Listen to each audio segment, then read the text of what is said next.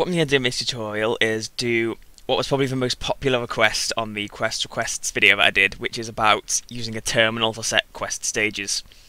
So what I'm going to do is I'm going to have a quest where an NPC asks you to retrieve some data from a terminal. You retrieve it and then return to him. So I'll just firstly create my NPC. Uh, let's call it ID tutorial NPC, and I'll just name him NPC like. I'm not. I'm just going to leave all the settings as default. And I'm going to create a voice type for him now so that he won't say the default dialogue. So I'll right click new here and right click new here and give it a give it a name, call it tutorial voice.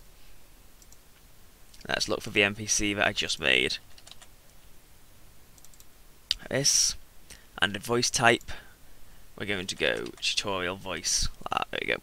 So now we won't say any of the default dialogue, he'll only say the stuff related to the quest that I'm going to create here. Let's give it an ID. Let's call it tutorial quest.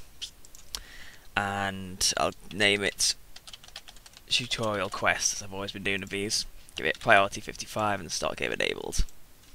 I'm just going to save my plugin so that I can test it and um, demonstrate it being done. So now that I've done all that, I'm going to create a terminal for the quest. So it's somewhere, here, there we go, world objects terminal. Now just the easiest way to do it is to just find a terminal that already exists and delete everything on it because that way it'll have a terminal model like this one so you don't have to set it or anything. So I'm just going to go to Abraham Washington terminal and give it a, a new ID. So I'll call it tutorial terminal and give it a name, which is what will appear in the game. And now you just delete all of these, like that, and delete this welcome text, because this is what will show up at the top of the terminal. So I'll just say, this is the tutorial terminal. This server type, it doesn't appear to actually do anything, this doesn't matter, it can just be whatever you want. And I'm going to have it unlocked so that there's no uh, you don't have to hack it and for the moment that is done and this will come up create a new object yes. So what I'll do now is just go to the wastelands and place my stuff in the world. Let's wait for this to load up. And I'll place them in spring Springvale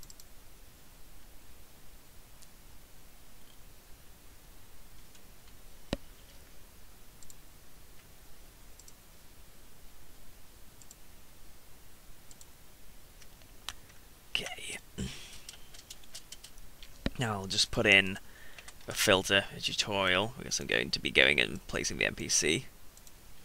Tutorial NPC, there he is. Not wearing any clothes and just looking like the default character. But, you know, it doesn't really matter for this tutorial. I'm just going to hit F and he drops right to the ground. That'll do for a location for him. And now we're just going to place the terminal in the world, so scroll back, terminal, tutorial terminal, click and drag. I'm just going to put it right nearby the NPC so don't have to wander around for ages to get to, you know, do the quest. There we go. That'll do nicely for position. So what I'm going to do is create the quest stages. So go to tutorial quest and quest stages number 10, right click new, set objective displayed tutorial quest 10 1. Yeah, that's all worked. And now um, I'm going to make a stage 20, which will be set objective completed tutorial quest 10 at 1 and then set objective displayed tutorial quest 21 that'll work nicely. So I'll create some objectives now so I've defined the objectives as being 10 and 20, so I'll make 10 here, which will be the first objective, which is going to be recover the data.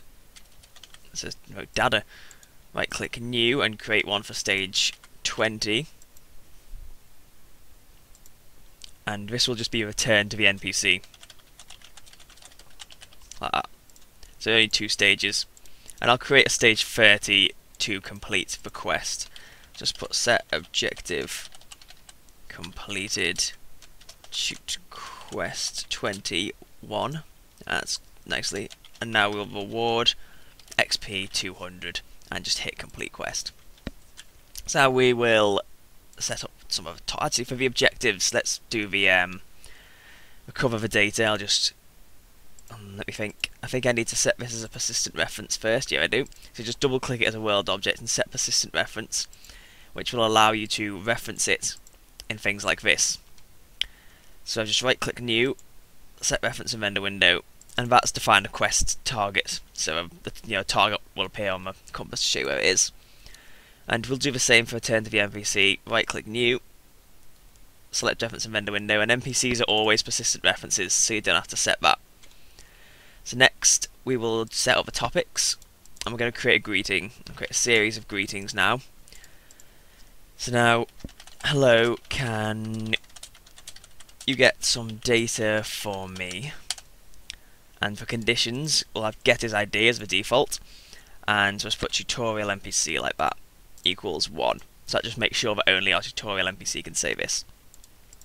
Now I'm going to do a get stage condition uh, tutorial quest has to be below 10 which means that he'll only say this line when the quest hasn't started yet. Next up we'll do get the data please. I'm just going to copy all conditions like this and paste them in here. And now I'm going to say equals 10 and check goodbye. So what that means is when it's stage 10, i.e. when our objective is get the data, he'll just say get the data please and it will be an out of conversation greeting. So now I'm going to create a new thing. I'm just going to say exactly the same thing, get the data please. Paste in the conditions, only this time we're going to change it to equals 20. And this won't be out of conversation. That'll be important for when I create the next set of topics. And I'm going to create a final one. Thanks for the help. Paste the conditions in and get stage equals 30 and I'll just set to goodbye so that means when the quest is complete he will have an out of conversation thanks for the help thing. So now let's create right click new tutorial topic just as long as it's a unique ID it can be anything as always so now go to create something to make when the player accepts the quests, I'll say thanks. It's on a terminal around here somewhere. So we'll just paste those conditions, so it has to be less than 10 again. So now we're going to set stage shoot quest 10, like that. So now the quest has been accepted by the player, we'll check goodbye so that they're kicked out of conversation. Now we'll add another one when the player returns. Thanks for your help.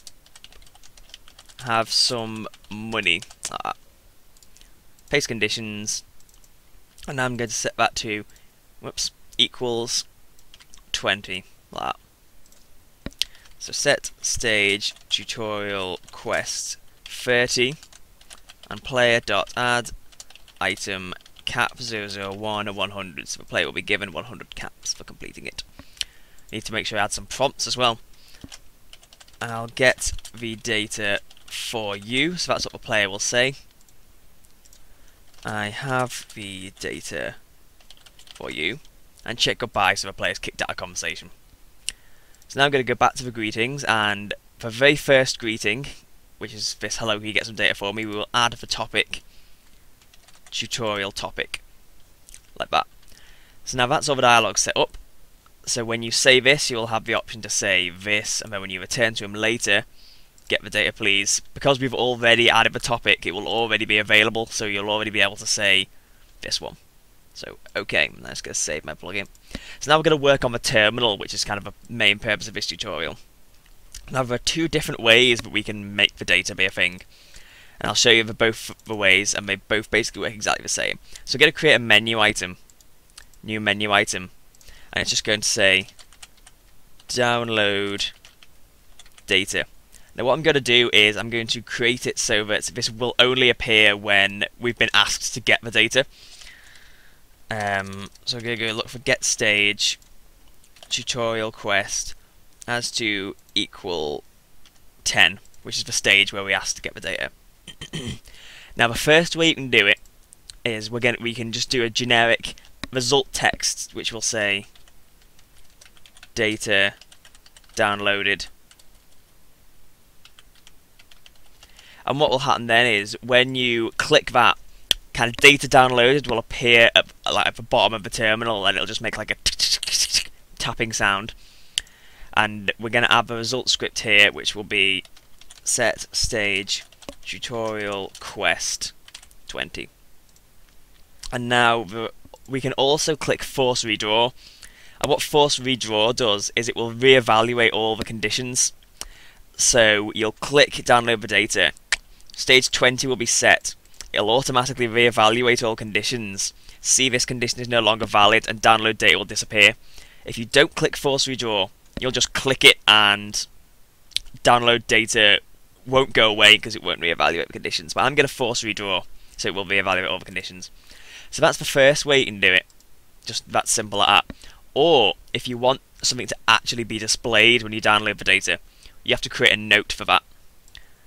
So I'm going to go and create a note now. It's got to be around here somewhere. Here it is, note in items. So because this note doesn't physically appear, we don't need to worry about duplicating an existing one because it doesn't need to have a world model. So I'm just going to right click new. Give it an ID, let's call it tutorial note. Give it a name, the data. We're going to check text down here.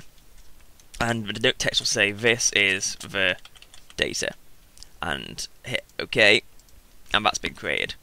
So now we're going to go back to our terminal like this and this result text um, will probably show up. We're going to go to display note, look for the note we just created like this, like that. And if you want the player to be given the note, just check add, like that. And everything else stays exactly the same. So I'm going to hit OK and save. And so now that should be done, basically. What happens is, you speak to the NPC, if it's less than 10, he'll say, hello, can you get some data for me? It will come over to here where the player accepts the quest and stage 10 will be set. Now once stage 10 is set, that means that this will appear showing on the terminal. You click to download the data. Once you've downloaded the data, stage 20 will be set, which is returned to the NPC. Once you're at stage 20 here, you'll have the option to say, I have the data, when stage 30 will be set, and when stage 30 is set, the quest is complete.